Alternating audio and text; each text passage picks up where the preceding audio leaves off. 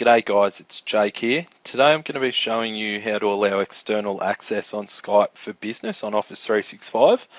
I'm using a demo tenant here, so as you can see it's just a demo tenant, it's not actual live one. But this will allow you external access with um, both other organisations and also public, just general Skype users. This can open you up to a bit of spam, but if you need to con contact people that are just using regular Skype, not Skype for Business on Office 365 or locally hosted, well, it's good to enable it. So this is just the dashboard that you get when you log in. You need to go to the Admin Center.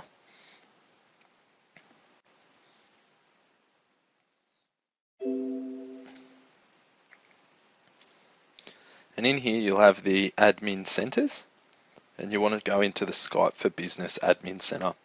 Now this is formerly called Lync. If any of you guys have experience with Lync, this is the build up from there. Basically it's been built off there and they've just changed the name. It keeps telling me to install Office on my computer, but I don't care.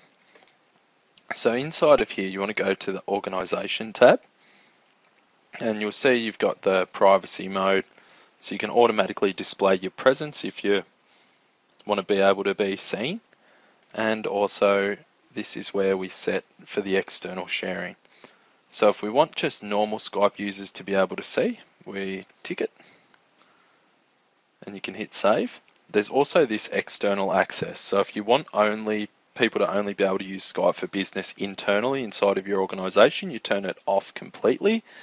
If you want it on except for accept except for block domains. So you can block communication with other domains, or you can only have it allowed for allowed domains. So that would mean that you only want to be able to communicate with maybe your sister company or mother company or people that you know you want to be allowed to communicate with. So I'm going to leave it on except for block domains and allow communications with external users. And then the settings have been saved. Can take a few minutes to update on um, your users ends, anywhere up to an hour. So that was how to allow external access and also access to public Skype using Skype for Business on Office 365. Don't forget to like and subscribe to see more, and I'll talk to you soon.